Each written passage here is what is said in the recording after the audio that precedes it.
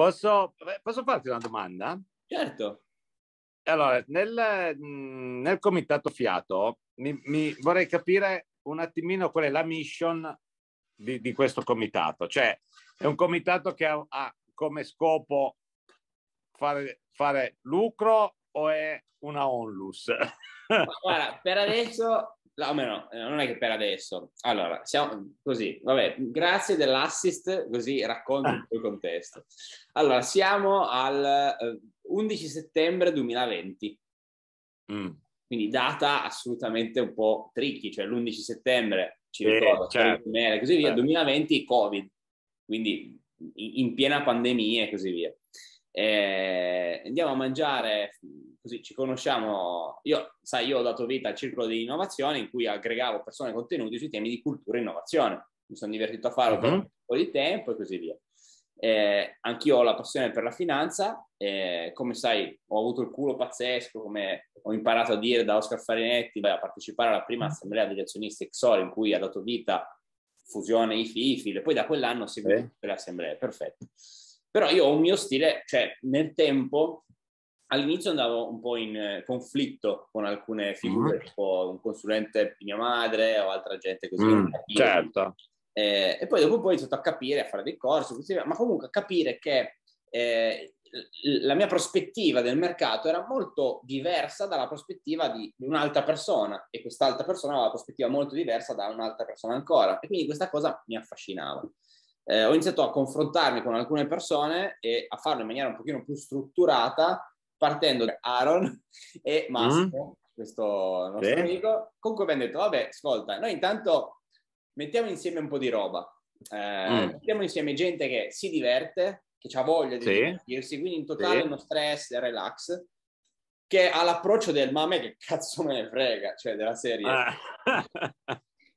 non so, adesso soprattutto Max ultimamente ci condivide, ho guadagnato, boom, percentuali, sì. non dice mai le cifre. Ah, il suo approccio in quel momento è euforia, entusiasmo, dice... Però anche solitudine, perché mm.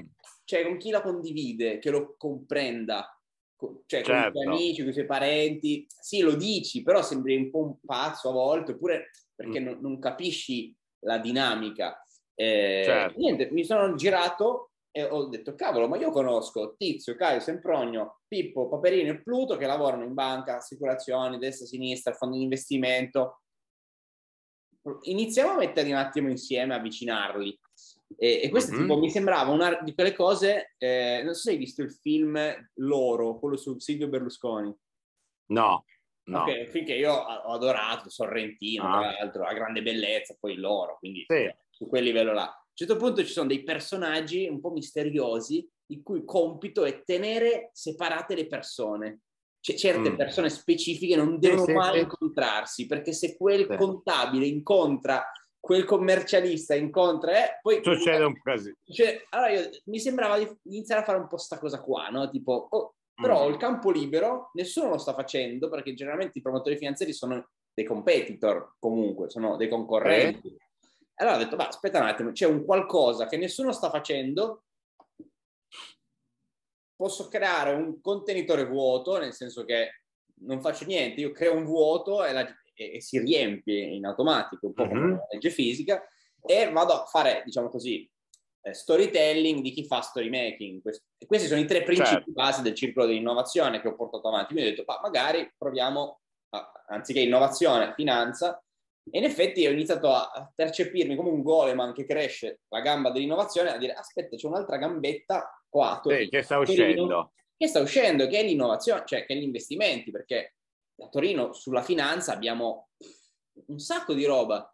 E io ero partito col tema dell'innovazione a Torino perché, perché è come avere una miniera d'oro, un museo enorme, mm-hmm però mh, senza visitatori, senza raccontare le cose e così via. Adesso negli ultimi due o tre anni questa cosa è cambiata, finalmente sento tante iniziative sull'innovazione, eccetera, eccetera. Ma io mi ricordo proprio i primi, i primi passi che facevo, ero, ero solo, cioè io camminavo nei coworking, silenzio.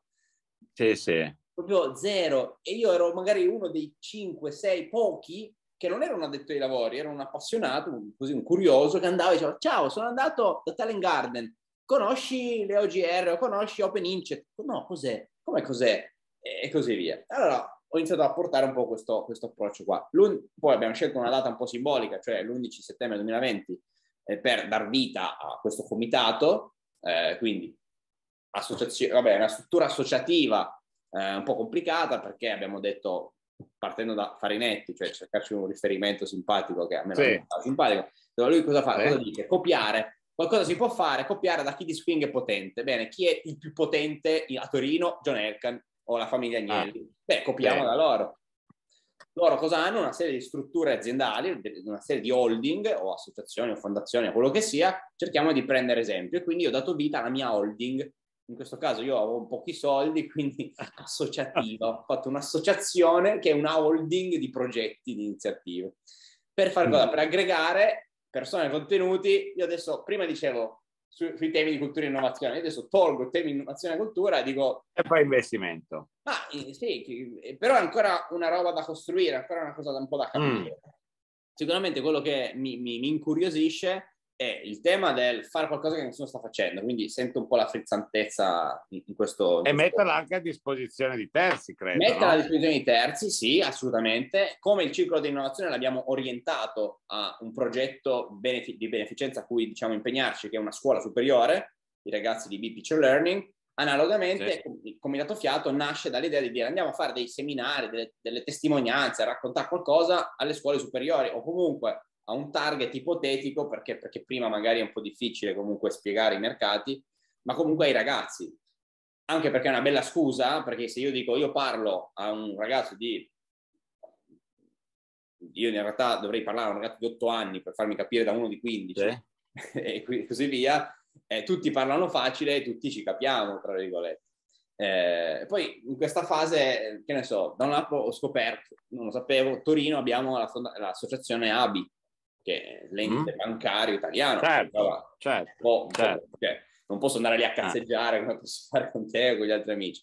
Al contempo, per adesso mi hanno detto, ma iniziamo a fare un giro di, come dire, di, di video, di mm. conoscerci tra di noi, persone che hanno l'approccio della ma a me che cazzo me ne frega, cioè mi voglio divertire, voglio bravo, condividere bravo. qualcuno e se riusciamo a inventarci qualcosa di figo, magari poi viene fuori un club degli investitori non lo so, oppure no, rimane niente. Perché... No, perché ti dico, eh, per come sto interpretando io e quello che tra- mi trasmettete, eh, c'è veramente questa, eh, questo ma che cazzo me ne foto, che poi è un bene. Eh. È bellissimo. Cioè, perché se tu ragioni, se tu ragioni solo nel dire, vabbè, io incontro tre, incontro te perché devo guadagnare su di te, non è più, ma a me che cazzo me ne fotte. No, cioè, io certo. vivo di altra roba poi incontro te, ho questa passione, tu hai questa passione, la condividiamo, io magari un po' di esperienza in più e quindi ti posso suggerire certo. qualcosa che è completamente diverso da quello che tu ti sei sentito dire da 30 anni, ogni volta che sei andato in banca, ogni volta che sei andato dal tuo consulente finanziario. Sì, sì, per adesso abbiamo messo nel gruppo solo trader o comunque mm. chi fa operazioni. Anche sì. Freddy, l'ultimo entrato, magari è, è, è l'esempio del più piccolo, tra virgolette, oppure c'è un altro che gira con 2-3 milioni di trading, bah, bah, cioè pesante, no? Però eh, le sì, persone sì. hanno l'approccio, che cazzo me ne frega, e, e già solo su questo io vedo che nel gruppo WhatsApp c'è una condivisione di boh, e basta, la, cioè, non abbiamo tanta frequenza, no? Però sì. prospettive completamente diverse, tipo sta roba sì, non sì. avevo mai pensato, oppure ah, aspetta, quella me l'ero persa, perché ognuno ha una propria visione molto, molto diversa. Eh, certo, certo, ma io ad esempio alcuni suggerimenti li ho colti anche consigliando, come, come ben sai, eh, alcuni titoli a dei miei clienti, no? Fantastico. Eh, abbiamo gioito una sera e poi dopo è finita lì. Vabbè, però, insomma, finita lì nel senso, avete gioito perché ci avete guadagnato. No. Sì, sì, ah, sì oh, certo, certo, allora. certo. Adesso siamo un po' tornati di nuovo indietro, ma vabbè, fa parte del, del, ah, del gioco. Sì, no, ma tanto allora. Di, ah, perché non avete chiuso la posizione in quel caso? No. Ok, esatto, ok. Sì. No, ma anch'io sì, sono sì. long ancora su quello, sono assolutamente confidente che c'è, c'è, un processo in corso. Se vuoi, certo, bellissimo. Mm. Quindi, prima cosa quella, seconda cosa, secondo me, se noi ci divertiamo, eh, condividiamo robe, nasce fiducia e così via, è una ser- cioè, ci esponiamo a un qualche serendipity di sicuro. Non Dai. so ancora quale, ma staremo a vedere. Va bene. Quando torni in Italia? Il 31-12, volo proprio a Capodanno, così entro nel 2022 volando e tornando a casa. Anche, Però sì, vieni avanti con, con, le, con, le, ore, quindi mi sì, una roba, sì, è un viaggio nel tempo praticamente. Eh, eh, sì. Ah, mi sono dimenticato, Magari... ho appena fatto partire anche l'iniziativa Osservatorio eh, Agnelli, nel senso ah. che noi siamo a Torino, ma tantissima gente, io sono iper appassionato, oltre che di finanza, della famiglia Agnelli proprio, no? Ma sì. io vado in giro e la gente non sa un cazzo. Cioè, eh, dai, allora ho, ho, pensato appunto un osservatorio sulla famiglia Agnelli, mm, i, i Fiato Talk, questo, certo. eh, un qualcosa adesso, combinazione è venuto spontaneamente, l'analisi orbitale, c'è cioè un approfondimento su sta roba lì perché potrebbe essere una roba molto figa. Siamo andati all'università sì, sì. a fare una, una prima intervista, una prima, un seminario, scusami, sì, e sì. poi il resto stiamo a vedere, ci costruiamo un Dai. sito magari con i nomi, le facce, così ci conosciamo anche, oppure no. No, no, guarda, ah. l'ultima roba che ti dico mentalmente, adesso abbiamo un fondo di investimento di Londra che mh, si è interessato a questa roba tra il circolo sì. di innovazione e il comitato fiato, soprattutto l'analisi orbitale, e mi ha detto noi cerchiamo di investire in startup. Mm. Ok, mm. noi in effetti nel circolo di innovazione abbiamo tanta gente che ci chiede, ci propone magari uniamo un po' le due gambe del Goleman e, e, boh, non lo so, mm, te la, cioè, bello, bello.